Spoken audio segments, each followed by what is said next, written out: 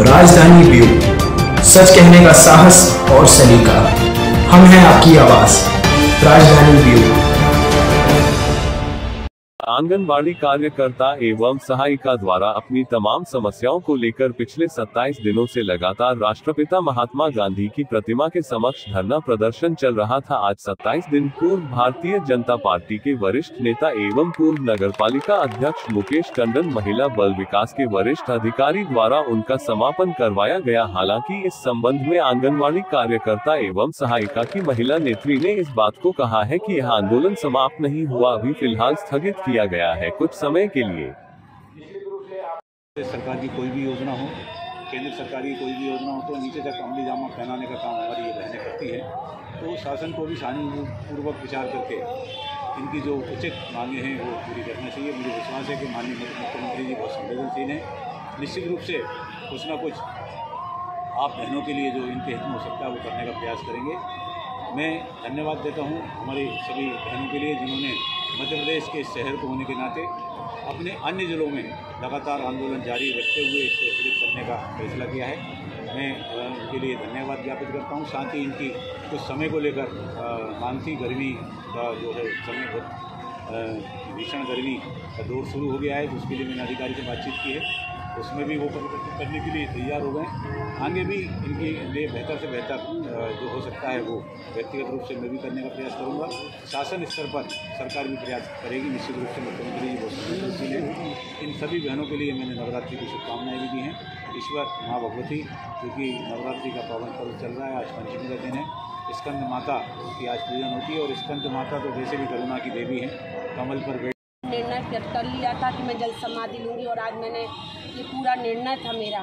परंतु हमारे भाई साहब टंडन भाई साहब आए और मुख्यमंत्री महोदय के द्वारा शायद हमें ऐसा लगता है कि आदेश आया कि हम आपकी मांगों को सुनेंगे और मानेंगे भी। तो वो, ये विदिशा जिला जो है, वो माननीय मुख्यमंत्री महोदय का गोद लिया हुआ जिला विदिशा है। तो हमें उन सब बातों को सोचते हुए प्रदेश के मुखिया माननीय शिवराज सिंह चौहान जी की बात का हम भरोसा करते हुए हम अपनी हड़ताल को स्थगित कर रहे हैं और हम इस हड़ताल को स्थगित करने के साथ हम मुख्यमंत्री जी से मिलने की कोशिश करेंगे और मिलेंगे भी।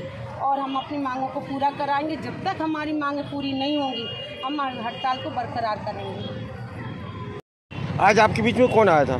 आज हमारे बीच में टंडन भाई साहब आए हैं। और हमारे विभाग के दो अधिकारी शर्मा जी और एक तनवाल जी आए हैं। क्या आश्वासन मिला आपको यहाँ से अभी तक? हमें आश्वासन ये मिला है कि हमारी जो मांगे हैं उनमें से तीन मांगों को पूरा करने की ऊपर चर्चा की गई है, फाइलें पुटअप कर दी गई हैं। लेकिन अभी हमें लिखित में सिर्फ़ यही मिला है कि हम आपके मांगों को परीक्षण करवाएँगे और उसके बाद में यदि आपकी मांगें पूर्ण करने योग्य होंगी तो ही हम मांग करेंगे।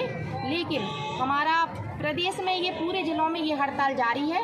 कहीं भी ये हड़ताल उठी नहीं है, केवल हम विदिशा ज़िले वाले ही स्थगित कर रहे हैं। वो भी हम लोगों पर मतलब ऐसा है कि माननीय मुख्यमंत्री जी का विदिशा निवास है और माननीय टंडन भाई साहब जी खुद आए हैं। उन्होंने पूर्ण भरोसा दिलवाया है हमें कि आपकी मांगें यथाशीघ्र पूरी होंगी। इसलिए हमने स्थगित कर दी है। मुकेश टंडन जी को आप किस रूप में देखती हैं यहाँ पर? हम मुकेश टंडन क्या हैं आप?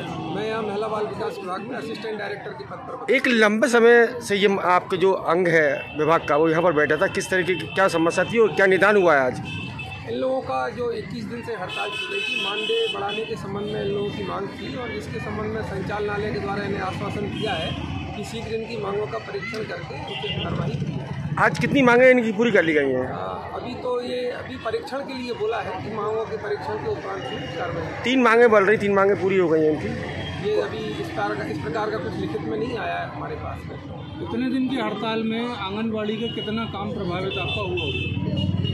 खैर, काम तो प्रभावित हुआ है आंगनबाड़ियों का, पर साथ में एक समांतर प्रयास भी हमने किया था कि जो बच्चों का पोषण आहार वितरण है वो बाधित ना हो। उसमें जो अन्य हमारे विभाग से संबंधित एजेंसियाँ हैं जैसे सहयोगी मातृत्व समिति है स्व समूह, शौर्या दल के मेंबर हैं, उन लोगों को एक्टिवेट किया था, उन लोगों ने पोषण आहार वितरण वगैरह किया। अगली, और कुछ ठीक